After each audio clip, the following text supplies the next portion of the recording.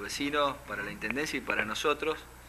En especial yo este, me siento muy identificado porque desde la gestión, desde cuando asumimos con el gobernador Wiener, eh, en aquel diciembre del 2007 fue uno de los temas este, de, tratar de solucionar, que fue el tema de estas viviendas de Armstrong, que ya han generado una historia y creo que van a ser un hito, digamos, en Armstrong, en la vida de Armstrong, estas viviendas. En el caso de este sorteo, ¿de cuántas viviendas estamos hablando? Estamos hablando de nueve viviendas. Sí, recordemos que este plan, como yo le decía, mención recién, este, en todo el proceso del 2008, la gestión que estaba a cargo este, había solicitado este, devolver el dinero a vivienda y que ellos, digamos, no, terminar esta vivienda, sino ponerla a la venta, darle un fin diferente, que es el fin de una vivienda social.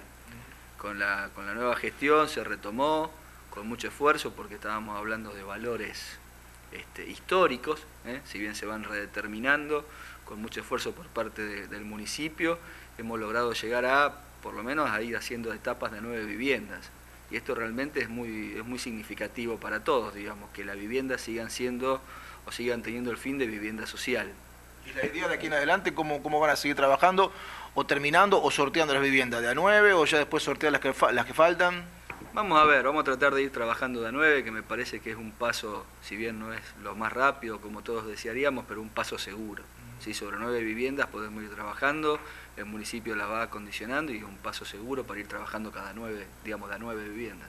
Menciona dos veces la palabra seguro y pensábamos quizá en estos tiempos donde a veces hasta los subsidios o los planes a largo plazo, donde hay inversiones y donde tiene que ver justamente la evolución de precios, a veces los cálculos, eh, bueno, nos juegan una mala pasada. ¿Cómo se están manejando en estos momentos donde fluctúa tanto la, eh, el tema de los precios en nuestra economía?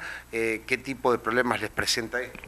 No, obviamente presenta alguna problemática, la obra pública tiene sistemas de redeterminación que son históricos y que se van aplicando que, y que van generando lo que es el ajuste con la economía. Obviamente eh, en un proceso donde no hay tanta inflación los ajustes son a más largo plazo y en estos periodos la redeterminación de precio hay que ir solicitándola o se va generando en, cortos, en plazos más cortos de tiempo.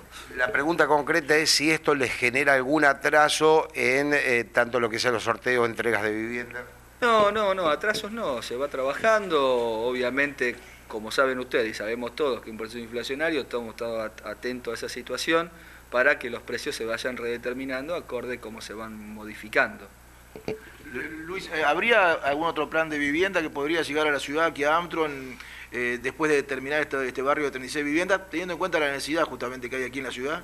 Sí, siempre. A ver, este, nosotros estamos abiertos a, hacer gestiones y que los municipios hagan gestiones con, tanto con la Dirección Provincial de Vivienda como con la Secretaría de Estado del Hábitat para buscar los distintos tipos de planes y los distintos tipos de alternativas para lograr de de, cumplimentar la función que es nuestra, que es la función de generar este, acceso a la vivienda en el caso de viviendas sociales. ¿Algunas novedades respecto de otras localidades de la región? Es una buena pregunta que no estuve repasando últimamente, esa es la de examen. Siempre hay novedades, siempre se van haciendo obras, se van haciendo a partir de este tipo de obras, este, se está llevando mucho adelante el tema del lote propio, de crédito hipotecario, y hay obras que se van generando. Depende mucho, como les decía, Digo, esto es un trabajo conjunto entre los municipios, las comunas y la provincia. Ya que hicimos pregunta de examen, eh, concretamente ahora eh, le pregunto en cuestiones de agenda. ¿De acá de Amsterdam usted hacia dónde va? ¿Vuelve a Santa Fe? ¿Se va a alguna localidad? No, no, de acá ya vuelvo para, la ciudad de Rosario. ¿Y cómo va a ser la modalidad del sorteo, Luis?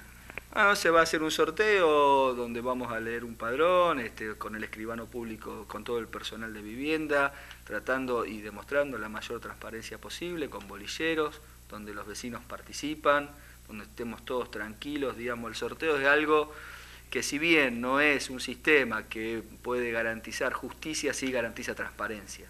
Y en ese sentido, lo que venimos a garantizar es un hecho que es un hecho transparente, donde evidentemente el azar va a destinar quién entra y quién no, ¿Por qué no por lotería? Mira, en lotería realmente se está trabajando cuando hablamos de padrones mucho más amplios y más grandes. ¿eh? Es, aparte, este, al no ser presencial el sorteo en ese sentido, hay que apelar a una transmisión por internet y todo tipo de cuestiones. Este, y cuando el bolillero llega, por ejemplo, a la unidad de 1000, que estamos hablando de padrones de 9000 o 5000 o 7000 familias. Es un padrón más chico, este, resolvimos trabajarlo de esa manera, que nos, digamos, donde el sistema de, garantía y de transparencia está garantizado en cualquiera de los dos sistemas, y en ese sentido se va a poner a la prueba, y mi presencia un poco también es para que la gente esté, llevar la mayor tranquilidad en ese sentido. ¿Son 513 las familias? ¿Tienen que estar presentes? No, no, no tienen que estar presentes las familias. Las familias van a ser nombradas, se la va a identificar con un número que va a ser cargado en el bolillero, va a haber distintos sorteos porque hay este, distintas, hay dos tipos de prototipos, hay distintos cupos, este, pero cada familia antes de cargar el bolillero se lee su nombre y con qué bolilla es identificada y ese, en ese instante el escribano lo carga dentro del bolillero. Igualmente yo les invito a todos ahora que nos acompañen y que puedan hacer registrar con las imágenes y estar presentes en el